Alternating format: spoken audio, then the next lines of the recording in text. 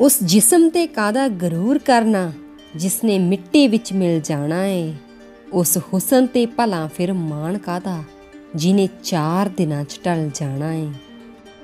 ਰੱਖ ਸੀਰਤ ਸੋਹਣੀ, ਬੋਲੀ ਬੋਲ ਮਿੱਠੀ, ਬਾਝੋਂ ਪਿਆਰ ਹੋਰ ਕੀ ਇਥੋਂ ਲੈ ਜਾਣਾ।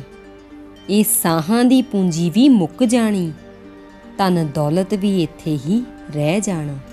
ਤਨ ਦੌਲਤ ਵੀ ਇੱਥੇ ਹੀ ਰਹਿ ਜਾਣਾ। ਇਨਸਾਨ ਨੂੰ ਆਪਣੀਆਂ ਜ਼ਰੂਰਤਾਂ ਦੇ ਮੁਤਾਬਕ ਜ਼ਿੰਦਗੀ ਜਿਉਣੀ ਚਾਹੀਦੀ ਹੈ। ਖੁਆਇਸ਼ ਦੇ ਮੁਤਾਬਕ ਨਹੀਂ। ਕਿਉਂਕਿ ਜ਼ਰੂਰਤਾਂ ਤਾਂ ਫਕੀਰ ਦੀਆਂ ਵੀ ਪੂਰੀਆਂ ਹੋ ਜਾਂਦੀਆਂ ਨੇ, ਪਰ ਖੁਆਇਸ਼ ਖੁਆਇਸ਼ ਤਾਂ ਬਾਦਸ਼ਾਹ ਦੀ ਵੀ ਪੂਰੀ ਨਹੀਂ ਹੁੰਦੀ। ਆਪਣੀ ਜ਼ਿੰਦਗੀ ਵਿੱਚ ਕਦੇ ਵੀ ਕਿਸੇ ਨੂੰ ਛੋਟਾ ਨਾ ਸਮਝੋ। ਕਿਉਂਕਿ ਛੋਟਾ ਇਨਸਾਨ ਵੀ ਉਹ ਕੁਝ ਕਰ ਸਕਦਾ ਹੈ ਜੋ ਤੁਸੀਂ ਨਹੀਂ ਕਰ ਸਕਦੇ। ਜਿਵੇਂ ਇੱਕ ਛੋਟੀ ਜੀ ਕੀੜੀ ਤੁਹਾਡੇ ਪੈਰ ਨੂੰ ਕੱਟ ਸਕਦੀ ਹੈ, ਪਰ ਤੁਸੀਂ ਉਸ ਦੇ ਪੈਰ ਨੂੰ ਨਹੀਂ ਕੱਟ ਸਕਦੇ। ਜ਼ਿੰਦਗੀ 'ਚ ਹਮੇਸ਼ਾ ਯਾਦ ਰੱਖੋ ਕਿ ਮੌਤ ਕਿਤੇ ਵੀ ਆ ਸਕਦੀ ਹੈ, ਪਰ ਬਦਨਾਮੀ ਮੁਫਤ 'ਚ ਮਿਲ ਜਾਂਦੀ ਹੈ। ਸ਼ੌਹਰਤ ਕਮਾਉਣੀ ਪੈਂਦੀ ਹੈ ਤੇ ਅਣਖ ਰੱਖਣੀ ਪੈਂਦੀ ਹੈ। ਕੁਦਰਤ ਦਾ ਇੱਕ ਨਿਯਮ ਹੈ, ਜੋ ਵੰਡੋਗੇ ਉਹੀ ਤੁਹਾਡੇ ਕੋਲ ਆਵੇਗਾ। ਫਿਰ ਭਾਵੇਂ ਉਹ ਪੈਸਾ ਹੋਵੇ, ਸਨਮਾਨ ਹੋਵੇ, ਅਪਮਾਨ ਹੋਵੇ, ਪਿਆਰ ਹੋਵੇ ਜਾਂ ਨਫ਼ਰਤ। ਬੇਗਾਨਿਆਂ ਨੂੰ ਆਪਣਾ ਬਣਾਉਣਾ ਤਾਂ ਬੜਾ ਆਸਾਨ ਹੁੰਦਾ ਹੈ, ਪਰ ਆਪਣਿਆਂ ਨੂੰ ਆਪਣੇ ਬਣਾ ਕੇ ਰੱਖਣਾ ਬੜਾ ਔਖਾ। ਜੋ ਲੋਕ ਤੁਹਾਡੀਆਂ ਬੁਰਾਈਆਂ ਕਰਦੇ ਨੇ, ਉਹਨਾਂ ਨੂੰ ਕਰਨ ਦਿਓ, ਕਿਉਂਕਿ ਅਜਈਆਂ ਛੋਟੀਆਂ-ਛੋਟੀਆਂ ਹਰਕਤਾਂ ਛੋਟੀ ਸੋਚ ਵਾਲੇ ਹੀ ਕਰਦੇ ਨੇ। ਸਹੀ ਇਨਸਾਨ ਤਾਂ ਉਹ ਹੁੰਦਾ ਹੈ ਜੋ ਮਾੜੇ ਟਾਈਮ ਦੇ ਵਿੱਚ ਸਾਥ ਦੇਵੇ। ਖੁਸ਼ੀ ਵਿੱਚ ਤਾਂ ਖੁਸਰੇ ਵੀ ਨੱਚਣ ਆ ਜਾਂਦੇ ਨੇ।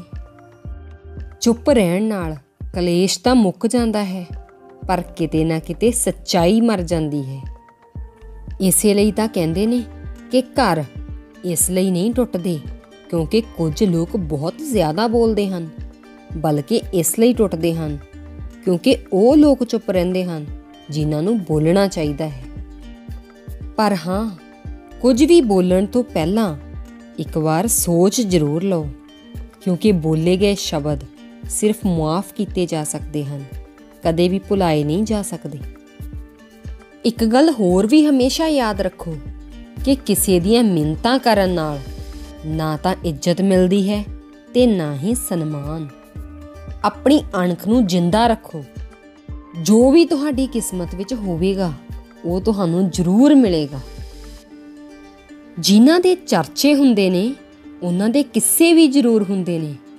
ਉਂਗਲਾਂ ਵੀ ਤਾਂ ਉਹਨਾਂ ਤੇ ਹੀ ਉੱਠਦੀਆਂ ਨੇ, ਜੋ ਮਸ਼ਹੂਰ ਹੁੰਦੇ ਨੇ। ਜੇ ਤੁਸੀਂ ਸੱਚੇ ਹੋ, ਤਾਂ ਚੁੱਪ ਰਹੋ। ਸ਼ਾਂਤ ਤੇ ਸਿਆਣੇ ਬਣੇ ਰਹੋ। ਆਪਣੇ ਆਪ ਨੂੰ ਸਹੀ ਸਾਬਿਤ ਕਰਨ ਦੀ ਕੋਸ਼ਿਸ਼ ਨਾ ਕਰੋ। ਗਵਾਹੀ ਤਾਂ ਸਮਾਂ ਖੁਦ ਹੀ ਦੇ ਦੇਵੇਗਾ। ਤੁਹਾਡੇ ਜੀਵਨ ਵਿੱਚ ਤੁਹਾਨੂੰ ਕੌਣ-ਕੌਣ ਮਿਲੇਗਾ? ਇਹ ਤਾਂ ਸਮਾਂ ਤੈਅ ਕਰਦਾ ਹੈ। ਪਰ ਜੀਵਨ ਵਿੱਚ ਕੌਣ ਤੁਹਾਡੇ ਨਾਲ ਬਣਿਆ ਰਹੇਗਾ? ਇਹ ਤੁਹਾਡਾ ਸੁਭਾਅ ਤੈਅ ਕਰਦਾ ਹੈ। ਇਸ ਲਈ ਹਮੇਸ਼ਾ ਚੰਗੇ ਸੁਭਾਅ ਦੇ ਮਾਲਕ ਬਣੋ। ਖੁਸ਼ ਰਹੋ ਤੇ ਦੂਜਿਆਂ ਨੂੰ ਵੀ ਖੁਸ਼ ਰੱਖੋ। ਕਿਉਂਕਿ ਮਨ ਤੇ ਜ਼ਿਆਦਾ ਬੋਝ ਲੈ ਕੇ ਤੁਰਨ ਵਾਲੇ ਅਕਸਰ ਹੀ ਡੁੱਬ ਜਾਂਦੇ ਨੇ। ਇਸੇ ਲਈ ਤਾਂ ਕਹਿੰਦੇ ਨੇ ਕਿ ਤਕਦੀਰਾਂ ਦੇ ਪੰਨਿਆਂ ਤੇ ਜਦ ਉਸ ਪਰਮਾਤਮਾ ਦੀ ਕਲਮ ਚਲਦੀ ਹੈ, ਤਾਂ ਫਿਰ ਉਹ ਵੀ ਹੋ ਜਾਂਦਾ ਹੈ। ਜੋ ਬੰਦਾ ਸੁਪਨੇ ਵਿੱਚ ਵੀ ਨਹੀਂ ਸੋਚਦਾ